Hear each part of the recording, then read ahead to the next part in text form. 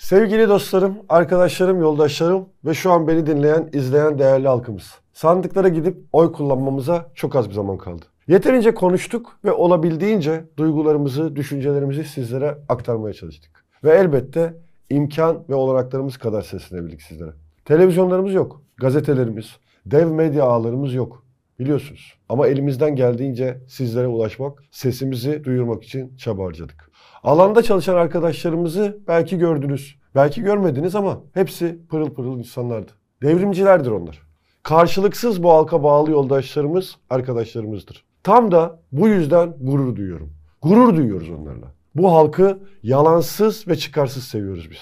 Bunu söylediğimizde ağzının kenarıyla gülenler görüyoruz. Bu duruşumuzun altında hinlik arayan, kötücül bakışlarla karşılaşıyoruz. Ve en kötüsü ne biliyor musunuz? En kötüsü bu halka karşı inancını kaybetmiş, onun iradesine, duygularına yabancılaşmış ve içinden çıktığı topluma düşmanlaşmış o çirkin anlayışla pek çok yerde karşılaşmamız. İşte bu yaklaşım iktidarın toplumun kılcal damarlarına kadar sızdığının en büyük göstergesi. Altını çizerek söylemek istiyorum. Biz buna karşı bir duruşu, bir ahlakı, bir mücadeleyi kurmaya çalışıyoruz. Tüm toplumu yaşayan ölülere çeviren, kimsenin kimseye saygı duymadığı, çıkarsız yaklaşmadığı, kardeşin kardeşe düşman hale getirildiği, kimsenin birbirine güvenmediği ve herkesin sırtında saplanmış birden çok hançerle gezdiği, ihanetlerin, aldatmaların, sahtekarlıkların baş tacı edildiği bu topraklarda eşitliğin ve özgürlüğün adil ruhunu arıyoruz. Onu bulmak ve yeniden halka kazandırmak için. Dostlarım, kardeşlerim, bunun zor olduğunu biliyoruz. Ve evet, bazen zorlanıyoruz. Etrafımızı çeviren kötülüğün farkındayız. Gücünü üstümüzde sınayan ve irademizi kırmak için operasyonlar planlayanların da elbette farkındayız. Çıktığımız yolun tehlikelerle dolu olduğunu, bizi yolumuzdan geri döndürmek için her türlü tuzağın kurulduğunu, ihanetlerin örgütlendiğini de biliyoruz. Ama kararlıyız ve kararlılığımızı sınayanlara buradan bir kez daha seslenmek istiyorum. Bizim kararlılığımızı sınayanların bulacağı tek şey yine kararlılığımız, inadımız olacaktır. Türkiye İşçi Partisi'nin öteki adı inattır. Kararlılıktır çünkü.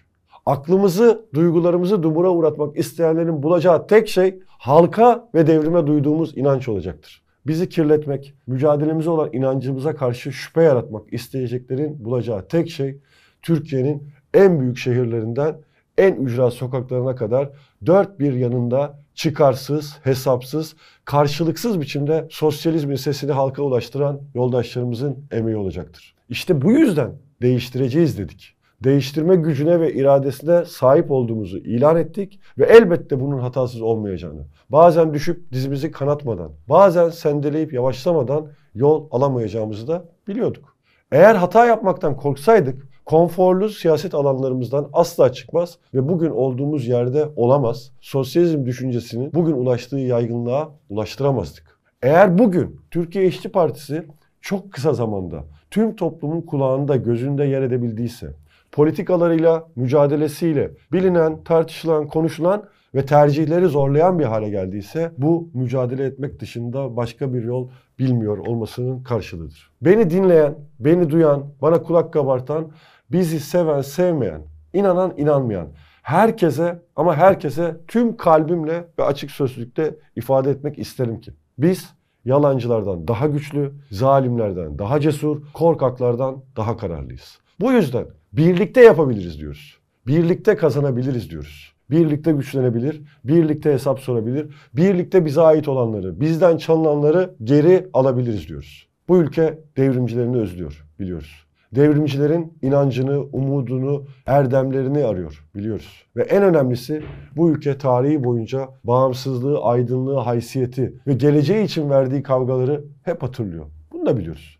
Türkiye İşçi Partisi tam da bunlar için kuruldu. Bu inadı içinde, yüreğinde, aklında, bilincinde taşıyan yüzlerce, binlerce insan bugün ülkenin dört bir yanında çalışıyor. Belediye başkanlığında ve belediye meclis üyeliğinde aday olup halkın sesini yerel yönetimlere taşımak, kentlerimizi ve mahallelerimizi halkla birlikte yönetmek için sorumluluk alıp bir adım öne çıktılar. Sizin 31 Mart'ta onları, bu ülkeyi ve halkı çıkarsız, hesapsız, karşılıksız seven devrimcileri yalnız bırakmayacağınıza inanıyorum. Sizin bu hırsızlık, arsızlık ve yolsuzluk düzeninin orta yerinde Sadece ve sadece devrimcilerin dürüstlüğüne güveneceğinize inanıyorum. 31 Mart'ta güvendiğiniz adayları oylarınızla destekleyeceğinizi biliyorum. Şairimizin dediği gibi. Bilirim. Yarın diye bir şey var. Çeliğin su katılmamış yanı.